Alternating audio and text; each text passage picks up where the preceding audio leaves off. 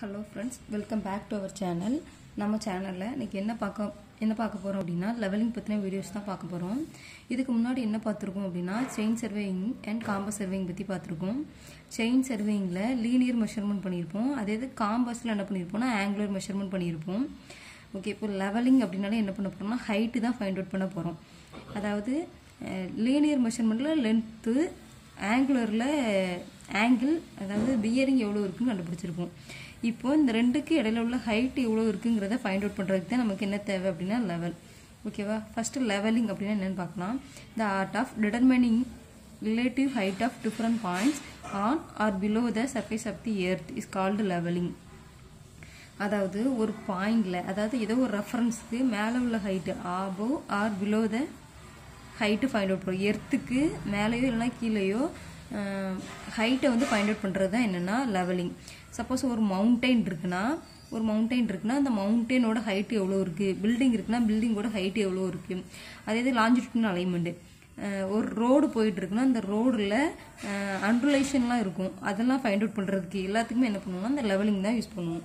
ஓகேவா இப்போ இந்த லெவலிங்கோட யூசஸ் என்ன? அதோட பர்பஸ் என்னங்கிறத பார்க்கலாம்.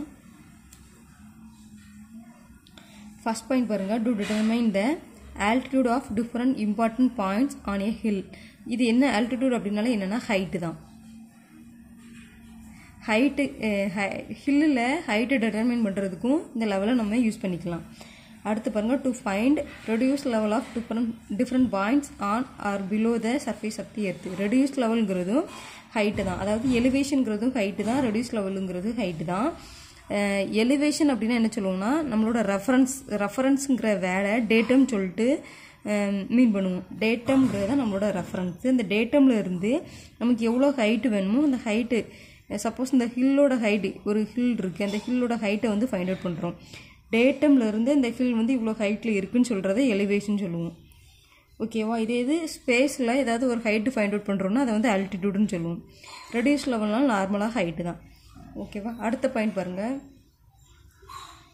to fix the alignment of roads railways irrigation and canals alignment பண்ணுறதுக்கு ஒரு ரோடு இருக்குன்னா அந்த ரோடில் இருக்கக்கூடிய அண்டுலேஷனெல்லாம் ஃபைண்ட் அவுட் பண்ணி அதை அதை வந்து நமக்கு வெஹிக்கிள்ஸ்லாம் நார்மலாக மூவ் ஆகுற மாதிரி நம்மளோட ஹைட்டெல்லாம் கண்டுபிடிச்சி அதுக்கேற்ற மாதிரி அலைன்மெண்ட் பண்ணி அதில் ரிசர்வை ரயில்வேஸ்னால் ரயில்வே ஒர்க் பண்ணுறது ரோடு ஒர்க் பண்ணுறது இரிகேஷன் கனால்ஸு ரிசர்வையரில் கூட நம்மளோட அதோட வால்யூமை ஃபைண்ட் அவுட் பண்ணி அதோட ஹைட்டு தெரிஞ்சால் தான் அதோட வால்யூம் எவ்வளோங்கிறது தெரியும். அதை ஃபைண்ட் அவுட் பண்ணி அதில் எவ்வளோ வாட்டர் வந்து ஸ்டோர் பண்ணலாங்கிறத ஃபைண்ட் அவுட் பண்ணுறது இது எல்லாத்துக்குமே நமக்கு என்ன வேணும் அப்படின்னா லெவலுங்கிற இன்ஸ்ட்ருமெண்ட் வேணும். அதை வச்சு ஈஸியாக நம்மளால் என்ன பண்ண முடியும்னா லெவலிங் பண்ண முடியும்.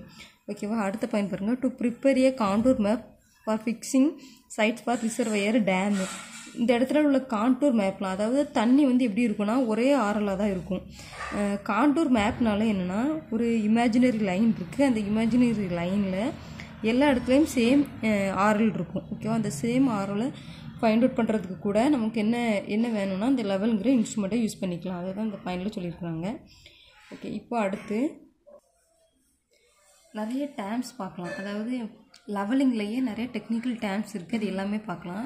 ஃபர்ஸ்ட் அந்த டயக்ராம் என்னென்னா நம்மளோட எர்த்தோட கிராஸ் செக்ஷன் நம்மளோட எர்த்து எப்படி இருக்குன்னா ஸ்பியரிக்கல் சேஃபில் இருக்கும். இது ஆல்ரெடி எல்லாருக்கும் தெரிஞ்சிருக்கும்.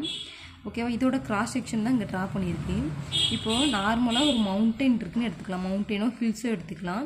இது எங்கே வேணால் ஸ்டார்ட் ஆகி எங்கே வேணால் முடியலாம். ஓகேவா ஆனால் எந்த இடத்துல இருந்து இந்த மவுண்டெயின் வந்து இவ்வளோ ஹைட்டில் இருக்குங்கிறத நம்ம சொல்லணும். அதுக்கு தேவைப்ப அந்த ரெஃபரன்ஸை தான். எங்கேருந்து ஸ்டார்ட் ஆகுறதுன்னு சொல்கிற ரெஃபரன்ஸை தான் நம்ம என்ன சொல்கிறோம்னா டேட்டம் சொல்லணும். டேட்டம்ங்கிறது ஒரு ரெஃபரன்ஸ் இப்போ அந்த ஹைட்டு கண்டுபிடிக்கிறதுக்கு நமக்கு டேட்டம்ங்கிற அந்த ரெஃபரன்ஸ் வந்து தேவை.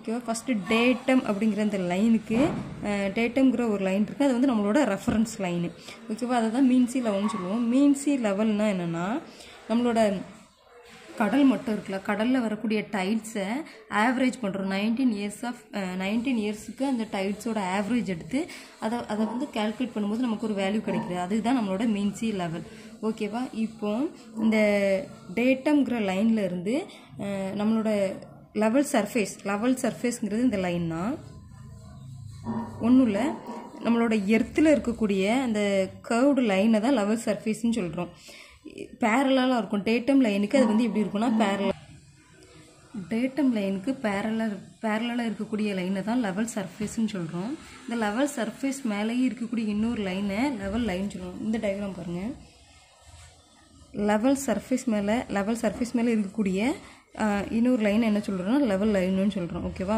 இது என்ன லைன்னா வெர்டிக்கல் லைன் இதோட சென்டர் ஆஃப் கிராவிட்டி வந்து எர்த்தோட சென்டரில் தான் இருக்கும். இதோட கிராவிட்டி வந்து எர்த்தோட சென்டரில் தான் இருக்கும். இந்த லைனை வெர்டிக்கல் லைன் இல்லைன்னா ப்ளம்ப் லைன் சொல்லிக்கலாம். வெர்டிக்கல் லைன் இல்லைன்னா ப்ளம்ப் லைன் ஓகேவா அதுக்கப்புறமா லெவல் சர்ஃபேஸில் டேஞ்சண்டியில் போகக்கூடிய ஒரு லைனை தான் ஹரிசென்ட்ரல் பிளேன் சொல்கிறோம் கரிசண்டல் பிளெயின் மேலே இருக்கக்கூடிய இன்னொரு லைன் தான் என்னென்னா கரிசாண்டல் லைன் ஓகேவா அதாவது horizontal line lying on the horizontal plane ஓகேவா இது வந்து வெர்டிக்கல் லைன் இது கரிசாண்டல் சர்ஃபேஸ் மேலே இருக்கக்கூடிய லைன் வந்து சாரி லெவல் சர்ஃபேஸ் மேலே இருக்கக்கூடிய லைன் வந்து லெவல் லைன் கரிசாண்டல் பிளேன் மேலே இருக்கக்கூடிய லைன் வந்து கரி கரிசாண்டல் லைன் ஓகேவா இப்போ இந்த ஏங்கிற பாயிண்ட்டுக்கும் இது மவுண்டன் எடுத்துக்கலாம். இங்கே ஏங்கிற பாயிண்ட் ஃபிக்ஸ் பண்ணியிருக்கோம். இங்கே பிங்கிற பாயிண்ட் ஃபிக்ஸ் பண்ணியிருக்கோம் இந்த ரெண்டுக்குள்ள டிஃப்ரென்ஸ் தான் என்னென்னா எலிவேஷன் இந்த ரெண்டுக்குள்ள ஹைட்டு தான் என்னென்னா எலிவேஷன் ஓகேவா இப்போ இதோட டைம்ஸ்லாம் என்னென்னு பார்க்கலாம். லெவல் சர்ஃபேஸ் அப்படின்னா a surface parallel to the means spheroidal surface of the earth அதாவது எர்த்துக்கு பேரலாக இருக்கக்கூடிய இன்னொரு லைன் தான் என்னென்னா லெவல் சர்ஃபேஸ் ஓகேவா அடுத்து லெவல் லைன் அப்படின்னா என்னென்னா any line lying on the level surface is called level line level surface மேலே இருக்கக்கூடிய இன்னொரு லைன் தான் என்னென்னா லெவல் லைன் அடுத்து வெர்டிக்கல் லைனா it is a line from any point on the earth surface to the centre of the earth it is the line defined as plumb line ஓகேவா அதாவது வெர்டிக்கலாக இருக்கக்கூடிய ஒரு லைன் வந்து எர்த்தோட சென்டரில் தான் அதோட கிராவிட்டி போய் ஆக்ட் ஆகும். இதுதான் வெர்டிக்கல் லைன் சொல்லுவோம் இதை ப்ளம் லைன் கூட சொல்லிக்கலாம். அடுத்து ஹரிசாண்டல் பிளைன் ஹரிசாண்டல் பிளைன்னா it, it is a plane tangential to the level surface at the point. Under a consideration it is perpendicular to the plumb line. அதாவது level சர்ஃபேஸில் டேஞ்சண்டியலாக act ஆகக்கூடிய டேஞ்சண்டியலாக ஆக்ட் ஆகக்கூடிய ஒரு லைன் தான் என்னென்னா கரிசண்டல் பிளைன் இது ப்ளம் லைனுக்கு பெர்பண்டிகுலராக இருக்கும். ஓகேவா அடுத்து பாருங்கள் horizontal line it is a line lying on the horizontal plane it is tangential to the level line அதாவது கரிசென்ட்ரல் பிளேன் மேலே ஆக்ட் ஆகக்கூடிய இன்னொரு லைன் தான். கரிசென்ட்ரல் பிளேன் மேலே ஆக்ட் ஆகக்கூடிய இன்னொரு லைன் தான் என்னென்னா ஹரிசாண்டல் லைன் இது லெவல் லைனுக்கு டேஞ்சண்டியலாக இருக்கும். லெவல் லைனுக்கு டேஞ்சண்டியலாக இருக்கும். ஓகேவா அடுத்து elevation elevation of a point is the vertical distance above or below the datum it is also known as reduce level அதாவது ஒரு டேட்டம் இருக்குது டேட்டம் லைன் ஒரு லைனை ரெஃபரன்ஸாக வச்சுக்கிறோம். இந்த லைனுக்கு அபவில் இல்லைனா பிலோவில் இருக்கக்கூடிய நம்மளோட ஹைட்டை தான் என்ன சொல்கிறோன்னா எலிவேஷன் சொல்கிறோம் நம்ம கண்டுபிடிக்க வேண்டிய ஹைட்டை தான் எலிவேஷன் சொல்கிறோம் ஓகேவா அடுத்து டேட்டம் சர்ஃபேஸ் டேட்டம் surface என்னது this is a imaginary level surface or level line from which the the distance of different different are measured measured or below அதாவது நம்மளோட ரெஃபரன்ஸ் இருக்குல்ல? இந்த டேட்டம் சர்ஃபேஸை ரெஃபரன்ஸாக வச்சு தான் இதுக்கு மேலே உள்ள ஹைட்டையோ கீழே இருக்கிற ஹைட்டையோ நம்மளால் மெஷர் பண்ணுவோம். அந்த ரெஃபரன்ஸை தான் டேட்டம் சர்ஃபேஸ்னு சொல்கிறோம் இமேஜினரி லைனாக கூட இது இருக்கலாம். அடுத்து mean sea level mean sea level is obtained by making hourly observation of the tides at any place over a period of 19 years. Mean sea level adopted by uh, Survey of India is now Bombay which was Karachi earlier. அதாவது இந்த மீன் sea level வந்து எங்கே வந்து datum மீன் sea level எங்கே அந்த ஆறில் எடுத்து வச்சுருந்தாங்கன்னா பாம்பேயில் இப்போ ஏர்லியராக கராச்சியில் அதாவது பாகிஸ்தானில் தான் uh, நம்மளோட மீன்சி லெவல் இருக்குது ஓகேவா அதை தான் நம்ம ஃபுல்லாக என்ன பண்ணுவோம்னா நம்மளோட இந்தியா ஃபுல்லாக யூஸ் பண்ணிக்குவோம் ஓகே அடுத்து அடுத்து axis of telescope this is this axis is an imaginary line passing through the optical centre of the object glass and the optical centre of the eyepiece அதாவது நம்மளோட லெவல் டியூப் லெவல் வந்து இப்படி இருக்குன்னு எடுத்துக்கலாம். இது வந்து ஆப்ஜெக்ட் இங்கே eyepiece ஓகேவா இதில் கிராஸ் ஆகக்கூடிய ஆக்சிஸ் லைன் இருக்குல்ல இது ஒரு இமேஜினரி லைன் தான். அதாவது ஐபீஸ்லேருந்து ஆப்ஜெக்ட் வரைக்கும் போகக்கூடிய இந்த இமேஜினரி லைனை தான் நம்ம என்ன சொல்கிறோம்னா ஆக்சிஸ் ஆஃப் டெலஸ்கோப்னு சொல்கிறோம் ஓகேவா அடுத்து பாருங்கள் line of sight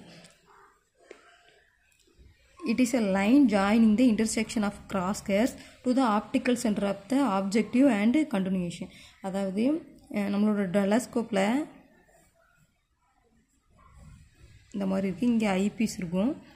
இங்கே ஆப்ஜெக்ட் இருக்குது சென்டரில் டயப்ராகம் இருக்கும். இதில் என்ன இருக்குன்னா கிராஸ்கர் இந்த மாதிரி இருக்கும்.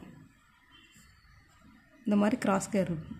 இந்த கிராஸ்கர்லேருந்து இந்த கிராஸ்கர்லேருந்து ஆப்ஜெக்ட் வரைக்கும் போகக்கூடிய இந்த பாஸ் ஆகி போகக்கூடிய இந்த கண்டினியூஷன் லைனை தான். இந்த இமேஜினரி லைனை தான் லைன் ஆஃப் சைட்டுன்னு சொல்கிறோம் ஐபீஸ்லேருந்து ஆப்ஜெக்ட் வரைக்கும் இருக்கக்கூடியது ஆக்சிஸ் ஆஃப் டெலஸ்கோப் அதாவது கிராஸ்கர்லேருந்து நம்மளோட ஆப்ஜெக்ட் வரைக்கும் போகக்கூடிய அந்த இமேஜினரி லைனை தான் லைன் ஆஃப் சைட்டுன்னு சொல்கிறோம் ஓகேவா அடுத்து axis of level tube or bubble tube அப்படின்னா நம்மளோட செட்டிங்லாம் முடிஞ்சதுக்கப்புறமா நம்மளோட பபுள் டியூப்பில் என்ன சொல்லுவோம்? என்ன செய்வோம் அப்படின்னா பபுள் டியூப் அட்ஜஸ்ட்மெண்ட் இருக்கும். அது சென்டருக்கு வரும். நம்மளோட பபுள் அட்ஜஸ்ட் பண்ணதுக்கப்புறம் பபுள் டியூப் வந்து சென்டருக்கு பபுள் சென்டரில் இருக்கும் இருக்கும்போது அதில் போகக்கூடிய இமேஜினரி லைனை தான் என்ன சொல்கிறோன்னா ஆக்சிஸ் ஆஃப் லெவல் டியூப்னு சொல்கிறோம் இது லாஞ்சிடியூனல் கவுக்கு டேஞ்சென்டிலாக கூட இந்த ஆக்சிஸ் லைன் இருக்கும்.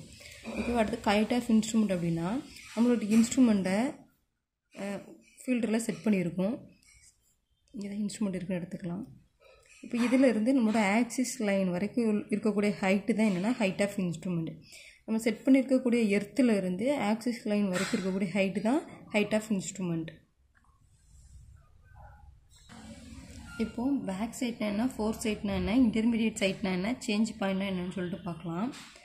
ஃபஸ்ட்டு ஏங்கிற பாயிண்டில் இன்ஸ்ட்ருமெண்ட்டை செட் பண்ணிடுச்சு ஓகேவா செட் பண்ணிவிட்டு பின்னாடி ஃபஸ்ட்டு எடுக்கக்கூடிய ஒரு ஸ்டாஃப் ரீடிங் தான் என்னதுன்னா பேக் சைடு அதாவது இதுதான் பெஞ்ச் மார்க் பெஞ்ச் மார்க் வந்து பெர்மனண்ட்டாக இருக்கக்கூடிய ஒரு இடத்துல பெஞ்ச் மார்க் ரீடிங் எடுப்போம்.